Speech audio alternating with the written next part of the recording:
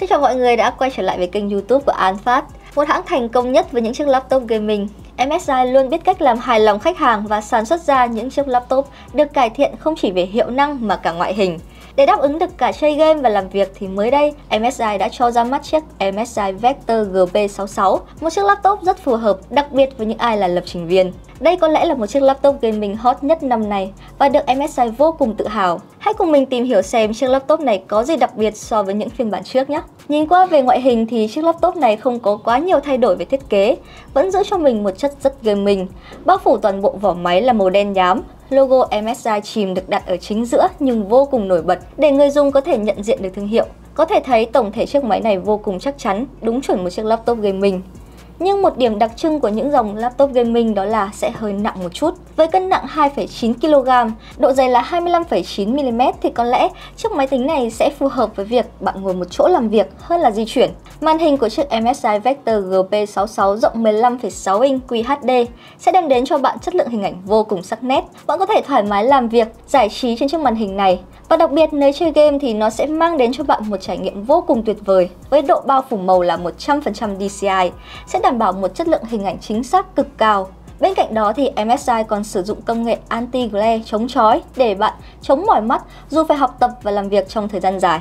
Tần số quét lên đến 240Hz sẽ đáp ứng mượt tất cả các tựa game FPS như CSGO, PUBG và rất nhiều các tựa game khác. Và chắc chắn MSI cũng sẽ trang bị cho bạn một chiếc camera HD vô cùng sắc nét ở cạnh viền để bạn có thể thoải mái học tập và làm việc trực tuyến. Tiếp đến là phần mặt xi của máy, được thiết kế với bàn phím tiêu chuẩn kèm theo đèn LED RGB rất độc đáo, phím bấm vuông vắn, độ phản hồi tốt, khung bàn phím cũng cực kỳ chắc chắn. Vậy nên bạn có thể sử dụng chiếc máy này mà sẽ không gây một chút hiện tượng flex nào cả touchpad cho cảm ứng đa điểm khiến các cú di chuột của bạn cực kỳ mượt mà. Bạn có thể sử dụng chiếc touchpad này mà không cần chuột rời. Nếu đã là laptop gaming thì chắc chắn không thể bỏ qua phần hiệu năng của chiếc laptop này. Bạn sẽ có sức mạnh của Intel Core i7 12800HX, 16GB DDR5, 1TB SSD. Bên cạnh đó, chiếc laptop này còn tích hợp các đồ họa NVIDIA RTX 3070 Ti, cho phép bạn xử lý các tác vụ thiết kế đồ họa, chỉnh sửa hình ảnh hay là dựng video đơn giản trên các phần mềm Photoshop AI cực kỳ mượt mà. Bên cạnh đó thì nó cũng sẽ giúp tăng khả năng xử lý khung hình cho hình ảnh chuyển động sống động hơn. Một điều mà chắc chắn ai là fan của laptop gaming sẽ đều quan tâm đó là hệ thống tản nhiệt. Vậy nên MSI cũng sẽ không bỏ qua điều này khi sử dụng công nghệ Cooler boost 5 độc quyền với 6 ống dẫn khí và hai quạt gió lớn, đảm bảo cho việc làm mát tối đa tránh tình trạng quá nhiệt. Khi sở hữu chiếc máy này thì bạn sẽ không thiếu bất cứ một cổng kết nối nào. Một cổng USB Type-C, 3 cổng USB Type-A, một cổng HDMI, một cổng mini DisplayPort, một jack cắm tai nghe để bạn có thể truy xuất và kết nối với tất cả thiết bị ngoại vi. Chiếc laptop này còn được nâng cấp lên Wi-Fi 6E để đường truyền mạng của bạn được ổn định và nhanh chóng hơn.